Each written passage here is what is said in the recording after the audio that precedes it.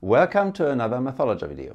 Do you still use coins? Not much, right? In fact, many experts predict that coins will be abolished altogether in the not too distant future. Heads or tails will be dead and gone. Very sad. but there's this really beautiful change-making mathematics that I've been meaning to show you since day one of Mathologer. And pretty soon, there'll be no point. So before I lose my chance entirely, I'll sneak in a quick video on coin maths. In particular, the goal of today's video is to answer one of the most burning questions on shoppers' minds. How many ways are there to make change for one googol, that is 10 to the power of $100? The answer to this question is very surprising and the explanation for the answer even more so. Promise. In particular, I'll use infinite series in a very ingenious way to count that huge, but definitely finite number of ways to make change for a googol. And believe it or not, all this change-making maths will actually stay very applicable even in the future without coins. I'll come back to that point at the end of the video.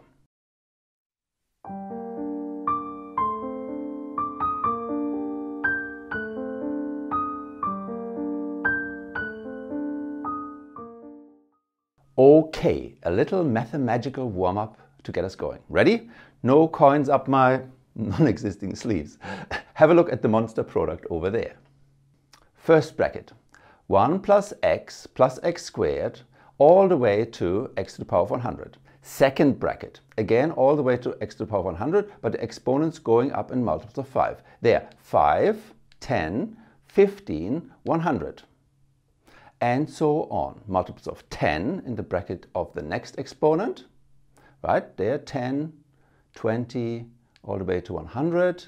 Next one is there 25, all the way to 100, then 50, and finally, to a little bracket, 1 plus x to the power of 100. Cool. Now, expand this monster product. Go on, I'll wait.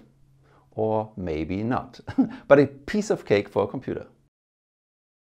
There, that's the output. So the result is 1 plus x plus x squared plus goes on for a while They're all the way to x to the power of 600. What a monster. Now for the magic. Let's wave our mathematical wand and zero in on the number in front of x to the power of 100. There, 293. Big deal. Just another number, right? Wrong. 293 is exactly the number of ways to make change for a dollar using standard US coins, those ones over there. 1 cent, 5, 10, 25, 50 and, well, 100 cents. How does this work? Well, those numbers definitely feature prominently in the product we started with. There. The exponent in the different factors are all the multiples of the six different numbers up to 100. All clear? No? Well, no problem. Let's have a closer look. Let's start small.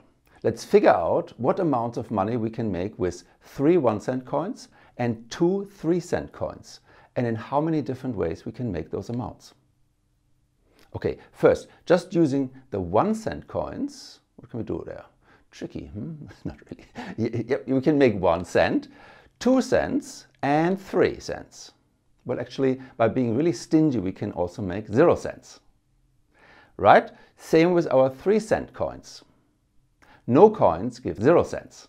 1 gives 3 cents and 2 gives 6 cents. Now here comes the first really cool bit. To get everything possible using both types of coins, we simply visually multiply the two sums. So there, multiply, term by term, and pretty magical and pretty obvious that this will give all possible ways of combining up to three one cent coins with up to two three cent coins. Now just tidy up a bit. All those extra nothings in the top row are really superfluous, so let's zap them. Neat, huh? We've translated finding all those combinations into algebra. Now, to find out what amounts we've made, let's add up. For example, 1 plus 1 plus 3 plus 3 is 8 and so on. But how can we do this adding up automatically? Well, the way we've pictured things makes it look like we are multiplying those coins rather than adding, right? Here is a neat idea. What if we use powers? Can you see why? Well, products of powers translate into sums of the exponents. Have a look. Mm -hmm. So the exponent 8 is exactly the coin sum we noted earlier. Okay, let's do this everywhere. There. Okay, now let's add up. Mm -hmm. And everywhere else. Mm. So there we got three in two different ways, and those two ways are automatically recorded by our weird coin algebra. There goes the two. Mm -hmm. Same thing here, two ways to make six. Another two there, okay. The black circle up there stands for nothing, just zero. And x to the power of zero is one. So, wrapping it all up, what does this polynomial tell us? Hmm. What it says is that with three one cent coins and two three cent coins, we can make one cent in one way, okay, two cents in one way, 3 cents in two ways, and so on. And of course, we also get that one way of making 0 cents there, right at the beginning.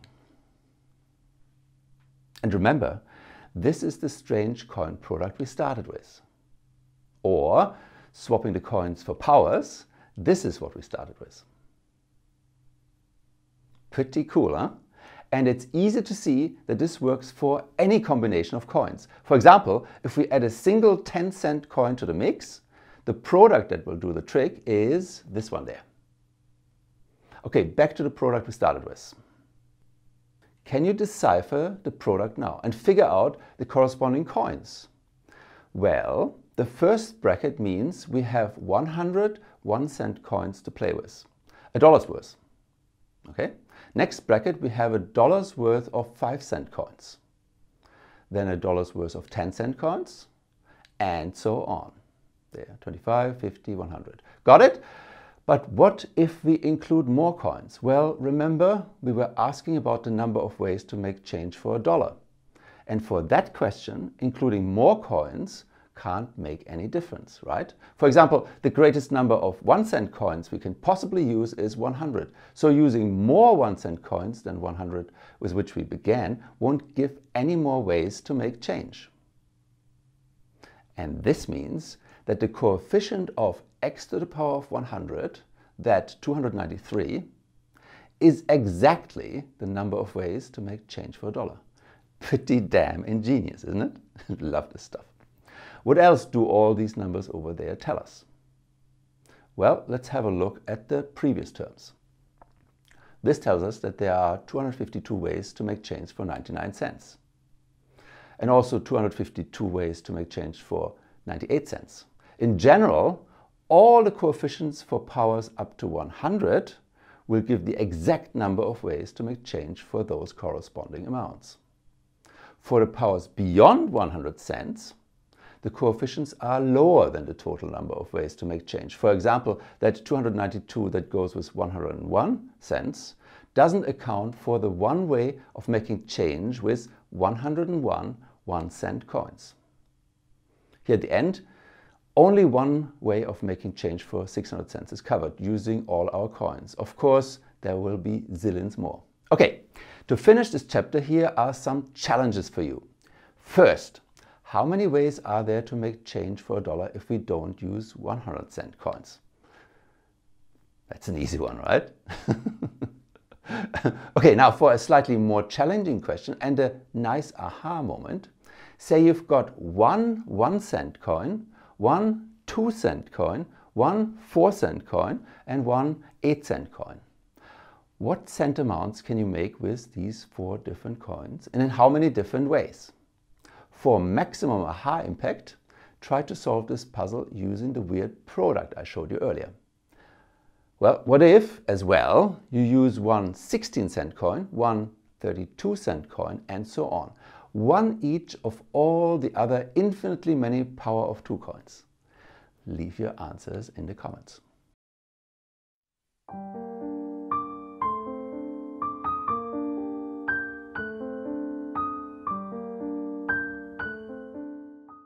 What's this up there?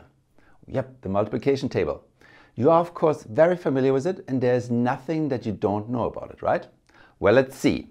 Mental mathematicians and lightning calculators will memorize well beyond the 10 times table. They are looking at something like this. Have you taken this bird's eye view before? The extended multiplication table exhibits some curious patterns. Can you see the different shades of gray? What are those? Well, let me highlight the different regions that are jumping out at us. There. What's the explanation for these regions? You've got it? No? Well, let's zoom in on one of the edges between regions. Okay, zoom, zoom, zoom. ah, so the regions are formed by the products with different numbers of digits. And the edges are where we jump from a certain number of digits to the next number. Makes sense. And what about the shape of the boundary curves? Ring a bell? Yep, they're pretty hyperbolic, 1 over xy looking, aren't they? And it's actually really easy to see that these curves are approximately hyperbolic, right? If this is the x-axis and this is the y-axis, then this border between three-digit and four-digit numbers is approximated by the curve with equations x times y equals the smallest four-digit number 1000. Or y is equal to 1000 over x. Hyperbolic, great. Anyway, there's a lesson to be learned. Even if we know how something works in principle and we're familiar with the little examples, taking things to telescopic extremes may produce some real surprises. This also turns out to be true for the change-giving puzzle. Let me show you. Remember we figured out there were 293 ways to make change for a dollar. What about making change for $10? Want to take a guess? 2 million and a bit ways to make change for $10. Let's see how this plays out when we go even bigger. There, there, there. Hmm, getting pretty big. yep, the numbers are huge. But can you also see a strange pattern emerging?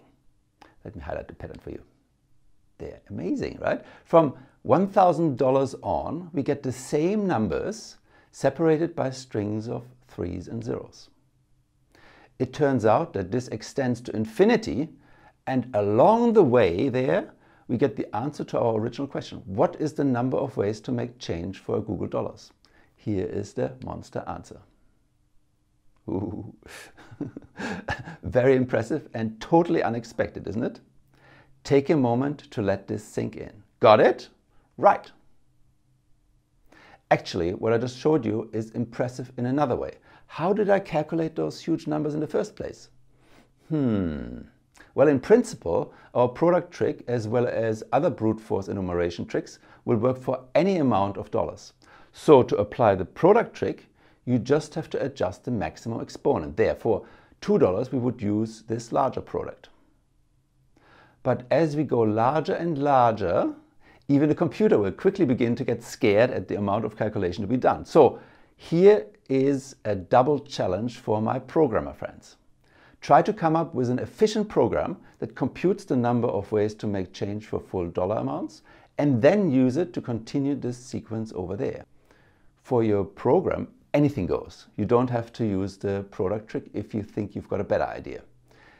Tell us about your discoveries in the comments. Also, let us know how far you can push things before your program and computing setup starts to take over an hour to produce the next answer.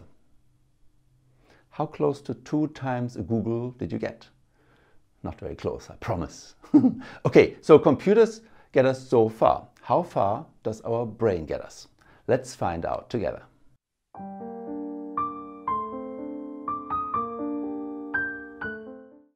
Okay, our goal is to prove that crazy formula for googol change. But before we get into it, I think I'd better highlight two basic facts to make sure we're all on the same page. Fact 1. The formula for the sum of an infinite geometric series. Very familiar, right? That one has come out in mathologer videos mm, about a googol times.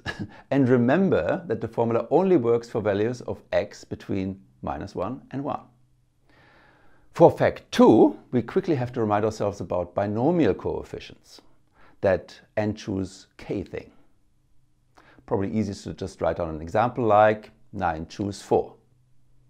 All right, mm, the pattern's clear, right? Four factors going up in the denominator and 4 factors going down in the numerator. Also, if the number at the bottom is 0, then the binomial coefficient is equal to 1.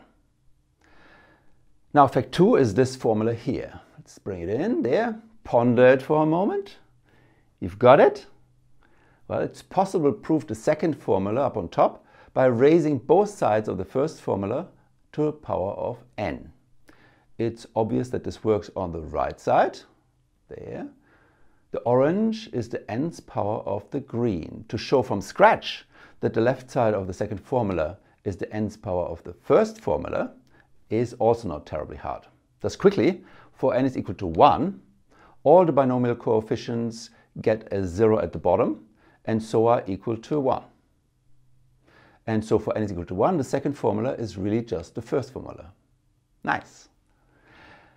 Maybe give squaring and cubing the left side of the first formula a go to prove the formula for n is equal to 2 and n is equal to 3. Actually, there's also a much, much easier calculus-based proof. Simply differentiate the first formula below n minus 1 times on both sides and you arrive at the second formula on top. If you are comfortable with calculus, you should definitely treat yourself to proving the formula this way. Anyway, for what follows, we'll really only need the special case n is equal to 6. So I might as well highlight that for you now. Okay, so when I spring this on you in a minute or two, you won't be surprised, right? Now with these two formulas under our belt, we are ready to explain those long strings of threes and zeros in the numbers of ways to make change for powers of $10. To do this, let's see how far we can push the product trick. Then we'll push a little further.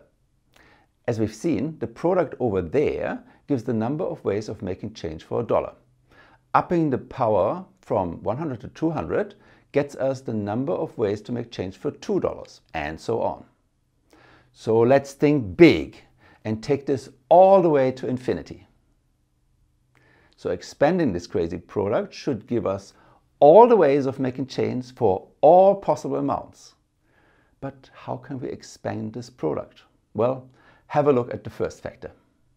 Looks familiar, doesn't it? Our first formula tells us that this factor is equal to 1 over 1 minus x. Hmm. Here's the second factor. Aha!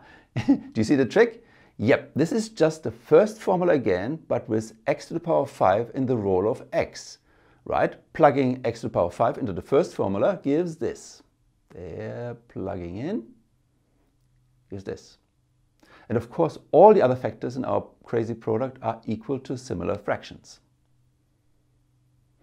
Which means that our crazy product is equal to this product of fractions. Okay, that looks a lot simpler than the crazy product. But does it help? Well, not so clear, right? The idea is to massage this expression a bit until all six denominators are the same. After that, it turns out we can apply our second formula. Let me show you how this is done using some algebra autopilot. Don't worry too much about the details. If you get the general idea of what's going on, that's plenty.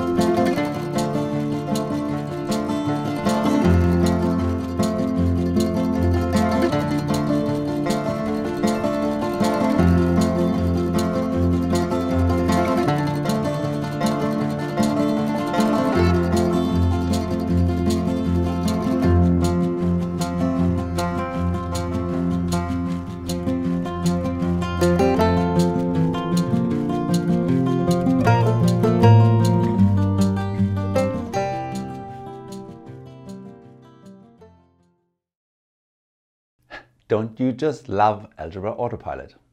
And things are now all primed to use our second formula and apply it to the bit in orange. There, let's just do it. Cool. And now a bit more massaging. First, take a deep breath, cross your fingers, and expand the big product in the middle. Just brute force, nothing ingenious going on there. Okay, degree 81 polynomial, 82 terms. Don't get to deal with something like that every day. And yes, it's scary, but remember, we started with a big product of infinite sums. So all in all, maybe count our blessings. Okay, the name z has served its purpose. Let's switch back to x to the power 5.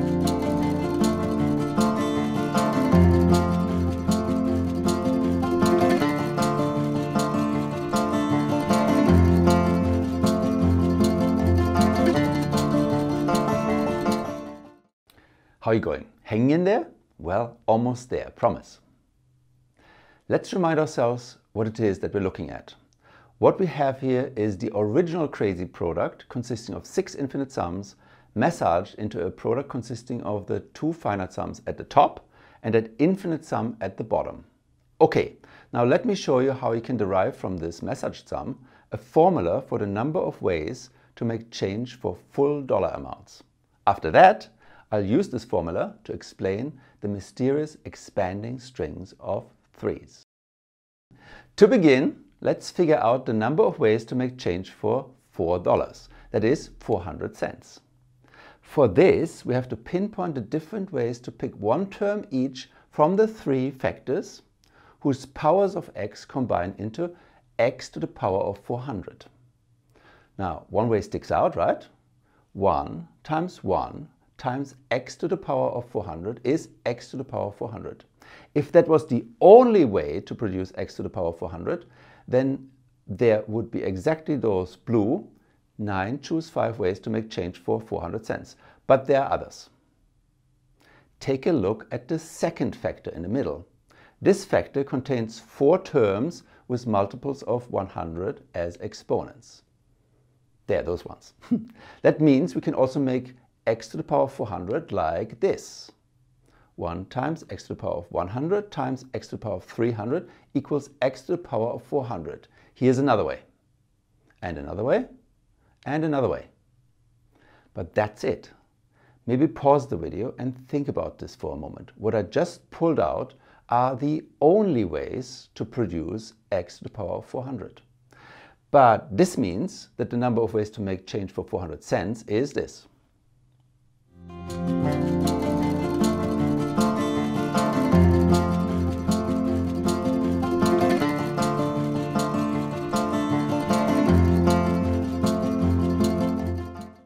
But actually there was nothing special about $4 or 400 cents.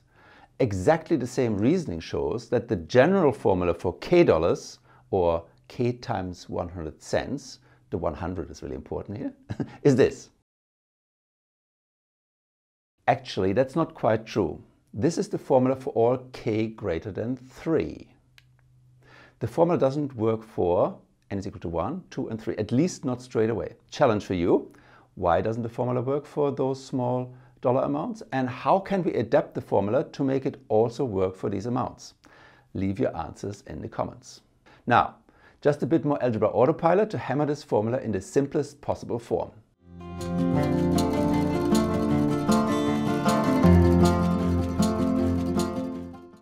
Pretty amazing. Not the prettiest polynomial ever, but after all the gymnastics with infinities flying this way and that, that's a surprisingly simple formula. Impressed? I know you are. all right, now for the final dash to the peak. Let's use this formula to explain the expanding strings of three. Okay, a bit more algebra autopilot.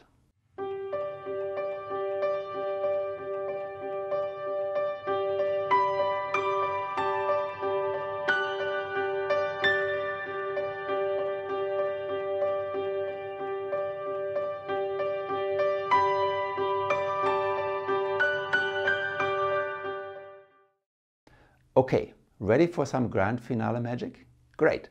Sub in k is equal to 100,000. then all those powers of k on the far right will also be powers of 10. And so we'll just be moving the decimal points of these numbers on the right by different amounts.